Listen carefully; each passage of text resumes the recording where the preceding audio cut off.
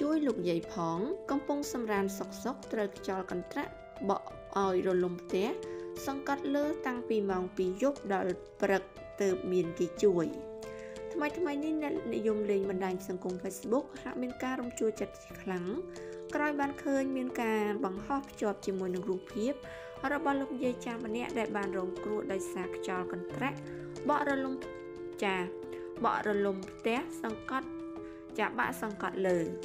យោងតាមករណី Facebook របស់លោកស្រេនវុធាដែលជាតារាសម្ដែងចាល្បីម្នាក់នោះបានបង្ហោះឲ្យដឹងថាកាលពីថ្ងៃទី30ខែកក្កដាឆ្នាំ2023កន្លងទៅលោកយាយម្នាក់រស់នៅក្នុងភូមិធ្នងឃុំបន្ទាយមាសខាងកើតស្រុកបន្ទាយមាសខេត្តកំពតដែលកំពុងតែសម្រានម្នាក់ឯងក្នុងផ្ទះស្រាប់តែត្រូវបានខ្យល់កន្ត្រាក់បោករលំផ្ទះសង្កត់លើ តាំងពីម៉ោង2ទៀបភ្លឺរហូតដល់ម៉ោង6ព្រឹកទើបមានអ្នកចិត្តខាងដឹងជួយហៅឡានពេទ្យនិងទាញចេញពីក្រោមផ្ទះខណៈចាខណៈពេលនេះដែរលោកយាយចាជាជនរងគ្រោះបាននឹងកំពុងសម្រាប់ព្យាបាលនៅមន្ទីរពេទ្យហើយបើតាមការបង្ហោះពីលោកស្រេនវុទ្ធាក៏បានបញ្ជាក់ថានឹងអំពាវនាវសូមឲ្យជួយលោកយាយផងព្រោះពេលនេះលោកយាយគ្មានកន្លែងស្នាក់នៅហើយក៏មានរបួសជាប់ខ្លួនទៀត គួរឲ្យដឹងដែរថាលោកយាយខាងលើរ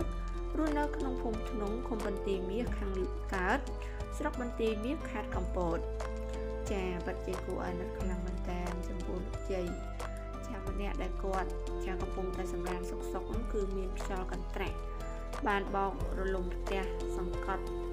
ពីលើតាំងពីចាំម៉ោងទី2ទីភ្លឺចារហូតដល់ព្រឹកទៅអ្នកចិត្តខាងដឹងថាគាត់ជាប់នៅក្នុងផ្ទះនោះចាហើយ ក៏បានសង្គ្រោះយកទៅចាំមន្ទីរពេទ្យដែរចាចំពោះអត្ថបទព័ត៌មាននេះដែរខ្ញុំសូមបញ្ចប់តែត្រឹមនេះសូមអរគុណនិងសូមគោរពលា